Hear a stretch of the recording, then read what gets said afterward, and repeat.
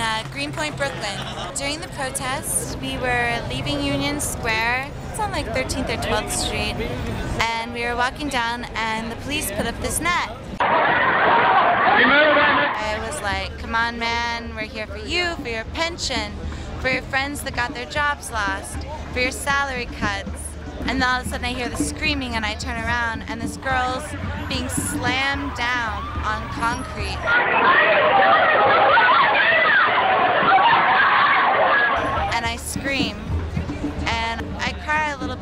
And then I turn around and I look at the cop that I was talking to and he just gives me like this look like he knows what's going on is fucked up but he can't do anything. And I turn around again and this cop literally is just like shh, shh, shh.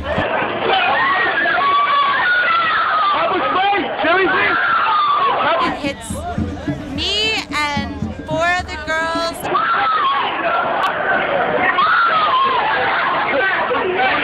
I just cried on the ground.